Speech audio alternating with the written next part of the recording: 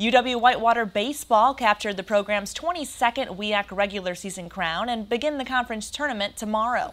The Warhawks earned the honor to have the tournament on their home turf, and the postseason is a time everyone looks forward to. With 12 freshmen experiencing it for the first time, there's likely to be some jitters. However, that's where their veteran leaders come in to help guide and lead by example. These guys just have to trust themselves just the same way that we trust ourselves already. Nothing changes. The games are a little bigger, the stage is a little brighter, but we're going to be the same team that has been doing well all season. They can't let the, the moment get too big and just play the game. Like Coach always says, just play the game, and, and if we can focus on doing that and not, not playing our opponent, um, we're going to be pretty, pretty successful.